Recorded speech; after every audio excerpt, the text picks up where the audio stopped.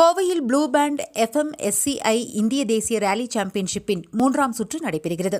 கோவையில் Coimbatore auto sports club சார்பில் நான்கு சக்கர வாகனங்களுக்கான ப்ளூ பேண்ட் எஃப்எம்எஸ்சிஐ இந்திய தேசிய ரேலி சாம்பியன்ஷிப்பின் மூன்றாம் சுற்று ஜூலை இருபத்தி ஒன்பது மற்றும் ஜூலை முப்பது ஆகிய இரண்டு நாட்கள் நடைபெறுகிறது.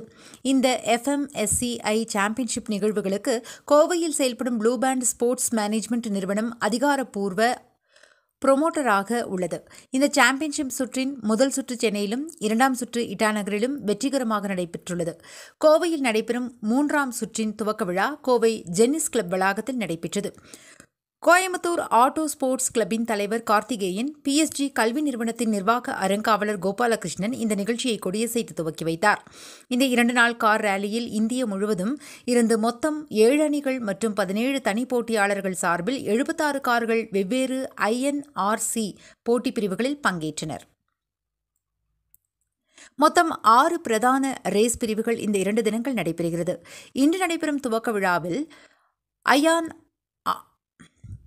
இன்று நடைபெறும் துவக்க விழாவில் ஐஎன்ஆர்சி பிரிவின் அர்ஜுன் ராவ் ஐஎன்ஆர்சி டூ பிரிவின் சாக்கில் கண்ணா ஐஎன்ஆர் சி த்ரீ பிரிவின் Seshang Jamwal INR C four பிரிவின் அபின் ராய் ஜிப்சி பிரிவின் சாம்ராட் யாதவ் ஜேஎன்ஆர்சி பிரிவின் அர்னாவ் பிரதாப் ஐஎன்ஆர்சி பெண்கள் பிரிவின் ஷிவானி பர்மர் மற்றும் கோவை ஐஎன்ஆர்சி திறமை போட்டியில் வெற்றி பெற்ற ஹெம்ராஜ் கலந்து கொண்டனர்.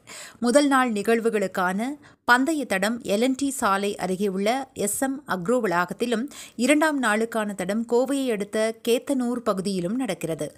போட்டிகள் காலை எட்டு மணி முதல் மாலை நான்கு மணி வரை நடக்கிறது. வெற்றி பெறும் வீரர்களுக்கு ஆறரை லட்சம் அளவிலான பரிசுத் தொகை அறிவிக்கப்பட்டுள்ளது. கோவையில் நடைபெறும் சாம்பியன்ஷிப் போட்டியை பொதுமக்கள் பந்தய பிரியர்கள் இலவசமாக நேரில் பார்த்து ரசிக்கலாம் என்று தெரிவிக்கப்பட்டுள்ளது.